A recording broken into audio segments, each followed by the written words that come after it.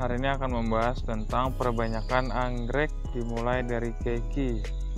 Yang pertama kita harus mempunyai anggrek dendrobium yang mempunyai keki atau anakan pada tunas batang anggrek yang tua. Serah uh, tunas keki dari hasil persemaian atau tunas keki yang dari indukan masih menempel. Di sini kita punya salah satu contoh keki anakan Dendrobium tretual Maluku. Nah, di sini kita punya contoh bagaimana cara memilih yang siap untuk dipisahkan dan yang mana yang belum siap untuk dipisahkan. Kita terlebih dahulu membahas tentang keki yang belum siap untuk dipindahkan meskipun plan itu sudah tinggi. Contoh seperti ini.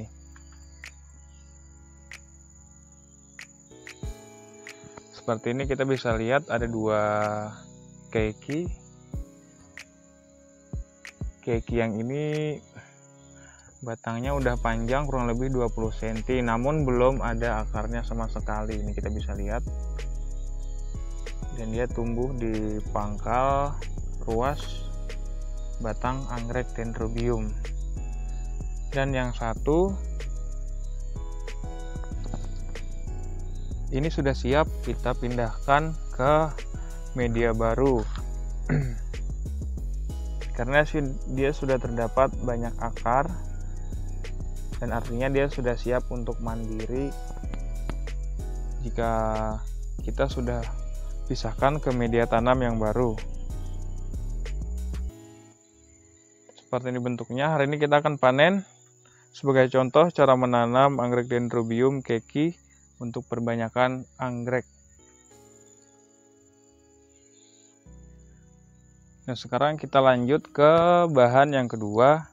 Ini keki anggrek dendrobium yang hasil tumbuh dari batang yang batang tua, batang tua yang kita split hasil anakan dari anggrek dendrobium batang tua. Nah ini akan kita tanam. Nah ini juga kemarin batang tua saya potong diletakkan di tempat yang agak lembab. Hasilnya ini kita dapat tiga anakan dendrobium capung kapuas. Nah ini ada anakan dendrobium capung kapuas ya ada dua. Oke ya kita rasa cukup. Ini buat jadi bahan percontohan untuk menanam perbanyakan anggrek dari keki. Pertama-tama kita akan memanen uh, kekinya terlebih dahulu.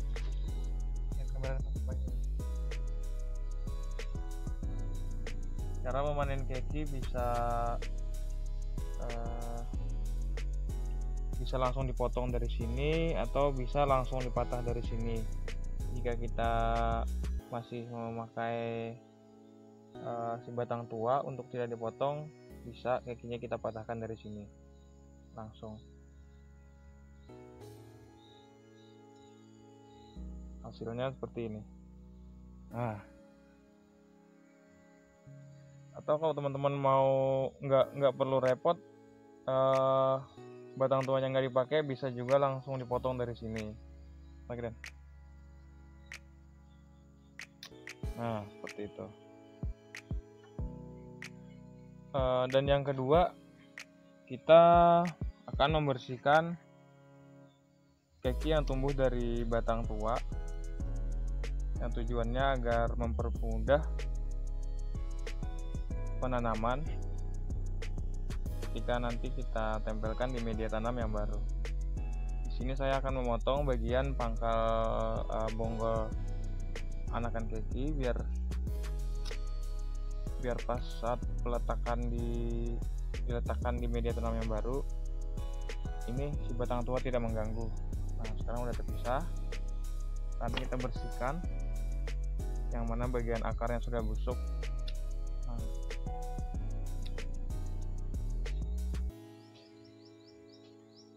Nah,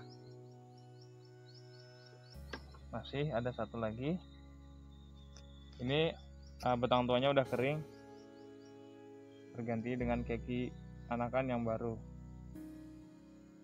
Sekarang kita akan potong terlebih dahulu. Nah. Sekarang keki siap kita tanam di media yang baru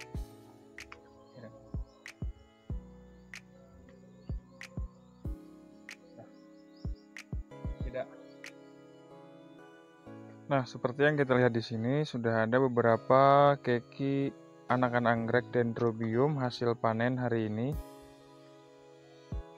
yang semuanya memiliki akar gondrong ya jika terdapat akar gondrong pada keki anakan anggrek dendrobium tersebut, maka artinya dia sudah siap untuk mandiri uh, dengan media tanam yang baru dan hidup uh, sendiri gitu ya.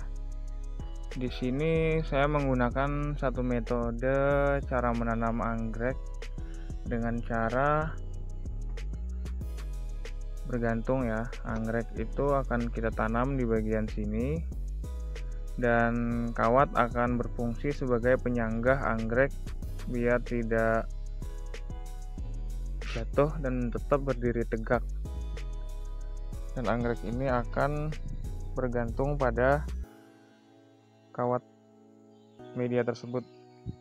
Di sini saya memakai dua bahan eh, media tanam satu papan pakis yang sudah diberikan uh, kawat untuk cantolan.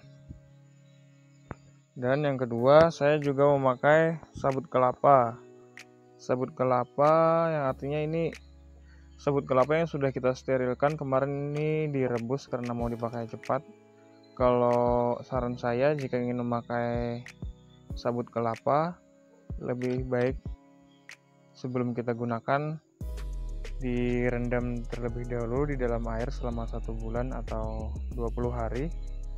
Kalau paling tidak setengah bulan kita rendam dulu di dalam air. Kalau mau cepat ya kita rebus tujuannya agar steril dari zat tanin yang ada di dalam uh, terkandung di dalam sabut kelapa tersebut kita mulai proses penanaman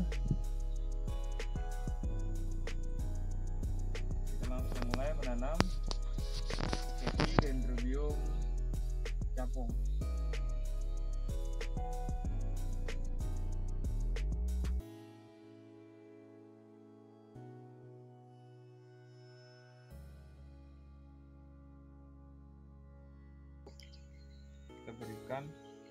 Lakukan pada ujungnya agar mudah kita cantolkan pada posisi untuk menanam anggrek dendrobium tersebut.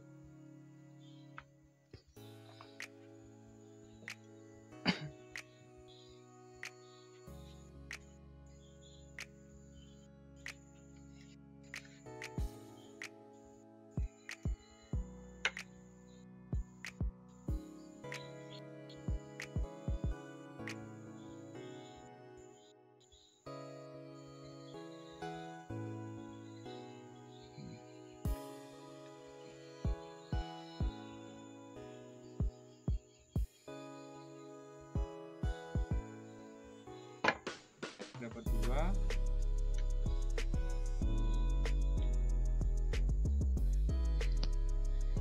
Perangan ini kita akan menanam keknya dendrobium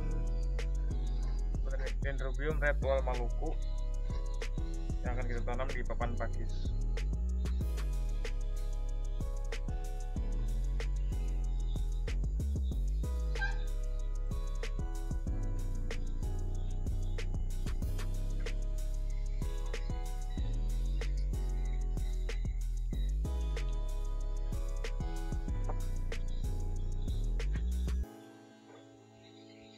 sini sangat mudah sekali. Saya hanya mengikat batang pohonnya pada eh, pada kawat cantolan sekaligus jadi penyanggah untuk anggrek agar tidak eh, miring, gitu ya.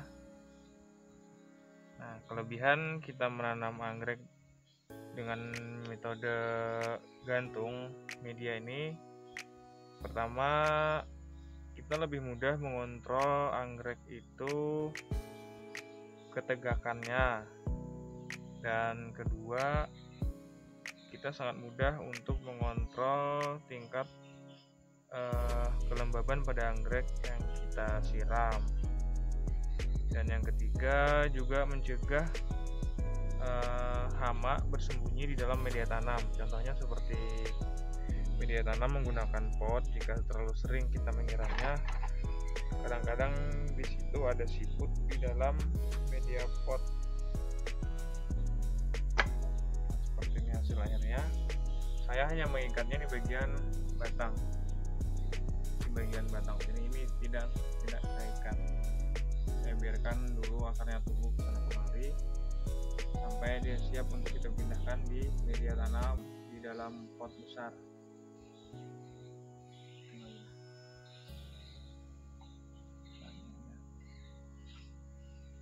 ini adalah keki anakan dari Dendrobium discolor Marauke. Ini ya dari Dendrobium discolor Marauke yang var berwarna pink ya. Kita akan tanam media terakhir di media sabut kelapa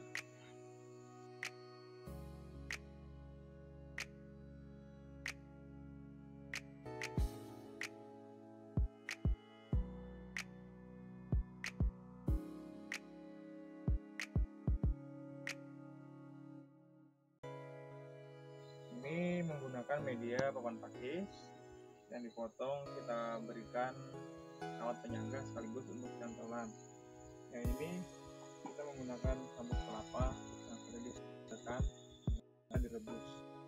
Semoga anggrek ini akan tumbuh subur uh,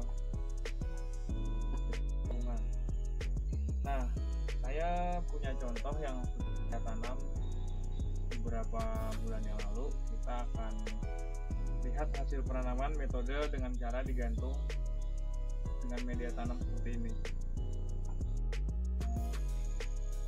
Hasil penanaman saya beberapa waktu yang lalu ini juga berasal dari keki ini juga keki dari keki semua. Kita sudah berhasil tumbuh tinggi. Mari kita hasil media tanam yang kita gunakan.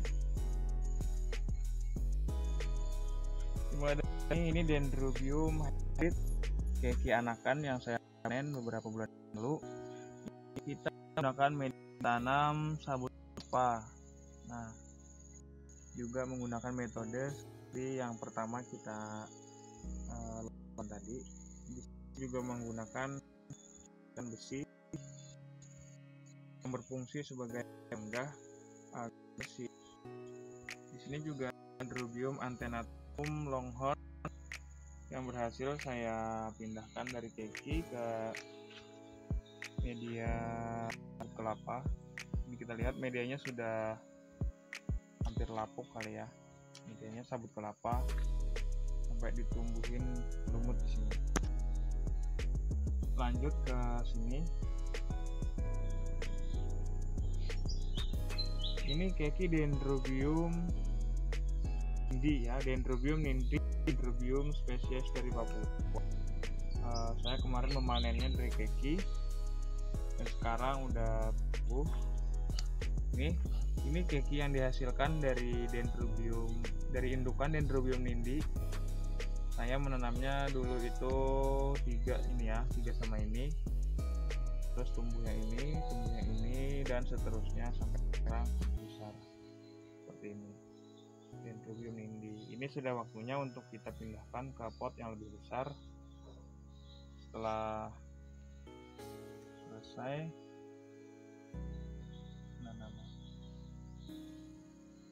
Oh iya.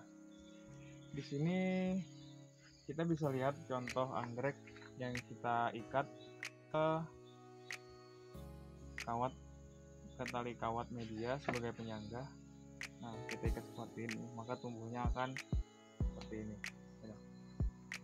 Dia akan lurus seperti ini. Dia akan ke atas. Kita bandingkan dengan anggrek yang kita kemarin lupa itu memberikan ikatan pada penyangga pada penyangga seperti ini dia lebih miring di sini kemarin lupa untuk harusnya hasil akhir dari pembuatan video dari awal. Ini anggrek dendrobium hybrid yang hasil dari keki. Kemudian kita pindahkan ke media yang ditempel di tunggul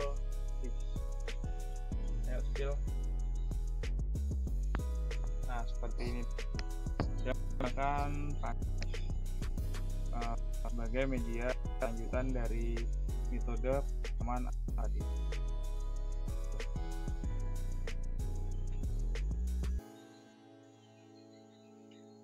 Terus lanjut ke sini dendrobium uh, dendrobium keriting silsilah saya lupa ini ID nya lupa. Namanya kita akan tanam dari kemarin. Ini setelah kita tanam di media papan pakis. Kemudian kita pindahkan ke wadah pot yang terbuat dari uh, apa ini kayu kelapa. Saya buat sendiri ini. Alhamdulillah sekarang sudah besar dan gede. Ini hasil dari uh, penanaman metode seperti awal tadi.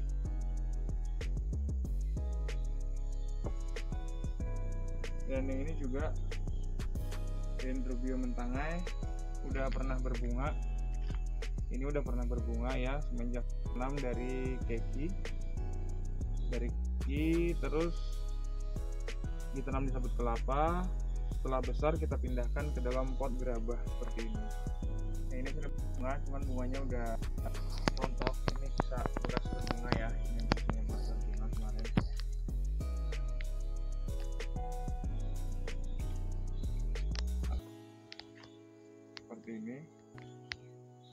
hasil akhir dari video tadi. Oke cukup sampai di sini video tentang cara perbanyakan anggrek dari keki. Uh, semoga buat teman-teman pemula video ini bermanfaat. Cukup sekian dan terima kasih. Dah. Ya. Mana? Terus videonya aku upload